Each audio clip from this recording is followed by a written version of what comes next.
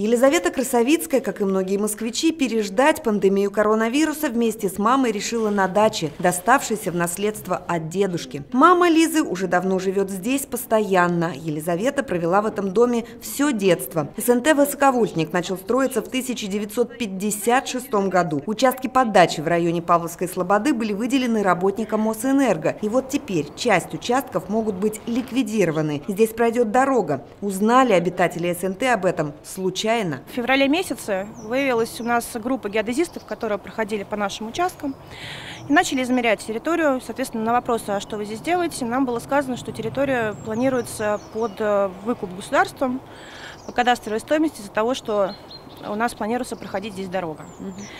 Мы, конечно, ничего не знали. Распоряжение о подготовке документации по планировке под строительство автомобильной дороги Зеленоград-Снегири М9 «Балтия» подписано в мае прошлого года. Исходя из документа, новый участок этой трассы пройдет от пересечения ММК Аносина-Павловская Слобода до пересечения с дорогой Рождественно-Зеленкова-Лобанова. Получается, что у нас вот вся вот эта линия, она вся планируется под снос с захватом соседей. Весь тот пятачок, грубо говоря, да, и вся первая и вторая линия здесь. Жители СНТ попытались раздобыть правдивую информацию о том, что же их ждет, если строительство дороги действительно пройдет через высоковольтник. Мне представились как первый заместитель Минтранспорта, но опять же, мы не знаем, кто на самом деле со мной разговаривал, и он сказал, что у нас э, как бы дороги сто процентов быть.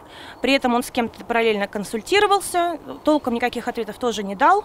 Но тем не менее, что да, у нас часть участков будет под снос. Вот это он подтвердил. Подтвердил, но не известил, что как по волшебству земельные участки, попадающие в зоны строительства и отчуждения, вдруг резко подешевели. С двух миллионов ста тысяч она упала до миллион пятьсот уже. Угу.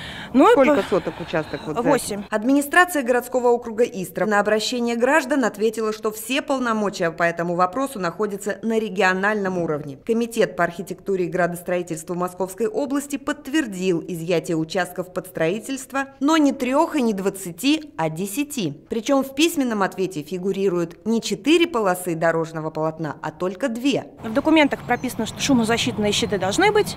В архитектуре нам сказали, что их не будет.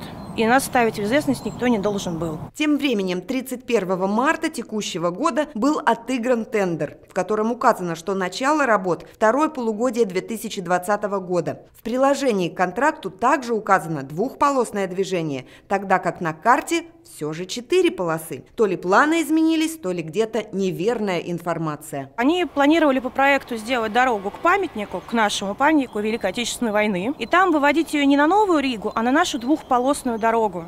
Сами понимаете, четыре полосы, упирающиеся в две полосы со скоростью 80 км в час через круговое движение, это ни о чем, с учетом того, что дорога будет аж из Зеленограда идти. То есть захватывая Снегири и через нас уже туда. Ну, я уже молчу о том, что Новорижское шоссе стоит практически всегда. То есть что в одну сторону, что в другую. Если, если сейчас поток с Зеленограда пускать к нам, ну это, во-первых, у нас все будет стоять, во-вторых, Рига и так все время стоит. То есть они хотят разгрузить, видимо, какой-то другой кусок за наш счет, да, и Рига, она просто встанет. Очевидно, что новые дороги, безусловно, нужны. Строительство этой трассы ждут многие. Вот, например, обсуждение в соцсетях еще 2015 года. Уже несколько лет ведутся разговоры об этой дороге, которая свяжет, наконец, Павловскую Слободу и Рождественно. Впервые, кажется, заговорили об этом в 2012 году, но, похоже, учитывая нынешнюю ситуацию, в ближайшие годы дороги этой так и не видать. Так что по-прежнему, чтобы попасть из Рождественно в Павловскую Слободу, необходимо проехать 25 километров. Это дальше и дольше, чем поездка в два райцентра – Истра и Красногорск. Но конкретно на этом отрезке, помимо планирующегося изъятия земельных участков и возможного транспортного коллапса на Новорижском шоссе есть и еще один важный нюанс. Очень беспокоит ситуация, что дорога прокладывается практически по нефтепродуктопроводу, который проходит вот там, по угу. полю, в непосредственной близости. Это чревато авариями, ситуациями, близкими к катастрофам. Наверное, все помнят взрывы газа несколько угу. лет назад. Это было очень страшно. То есть мы видели все последствия того, что может случиться.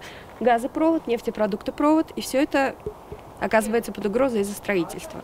Это подтверждает и карта. Желтая и сиреневая линии – варианты прокладки трассы, а голубой пунктир – это магистральный газопровод, практически вплетающийся в дорогу. Если мы посмотрим по карте, мы увидим Аносинскую дорогу. И Аносинская дорога упирается в Падиково как раз-таки съезд на Новую Ригу. Фактически эта дорога будет являться дублеркой, ну, дублером, да, бетонного кольца.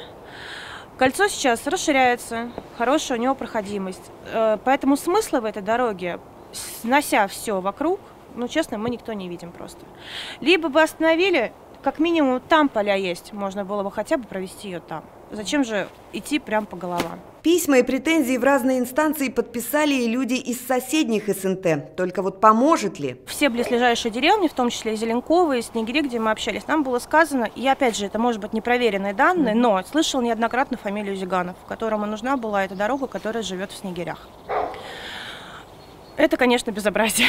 Так восторжествует ли здравый смысл? Елена Айошина, Михаил Моралов, Истра РФ.